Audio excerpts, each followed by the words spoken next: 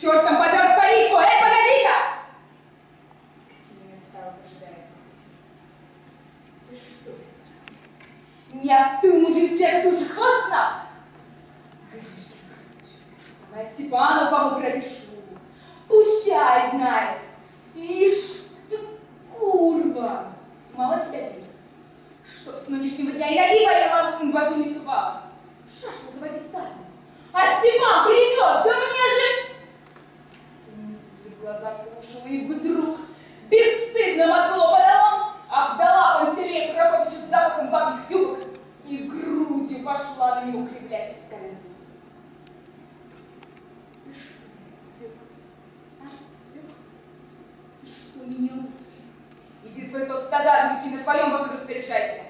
Я делала хромом, тебя Иди отсей, и петь как век не спужаешь.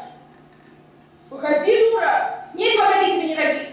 Ступай, теперь пришел. А Гришка, захочу с костями всем отец держать не буду. Вот, на. И Гришка. Дальше? Ну, что пишешь? Ты пиши хоть наказному атаману, Гришка, мой, мой, мой владаю, буду владать. Ксения набирала на робешего Пантелея Прокопича грудь, гладила дурным черным глаз, сыпала слова, одно страшнее стих. За всю жизнь за горькую отлюблю, а там куча пейте, мой Гришка, мой. Пантелей Прокопич что-то горькое себе горло зачеклял грудь. Гришка он ушел дергаться. Не сказав ни слова, достал его костылем до спины. Григорий Александровский. За что, Ватя? За дело, сукин сын!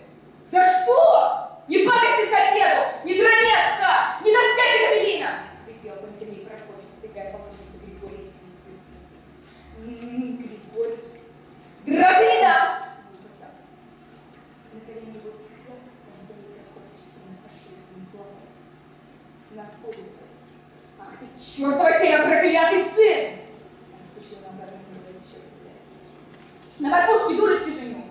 Ишь ты, я тебе выхлощу. Наша прибежала. Прокофьевич, Прокофьевич, а голой трошки, походи. Поднес сразу жене, опрокинул столик со швейной машины и, надвыпавшись, вылетел на вас. Не успел Григорий скинуть раз...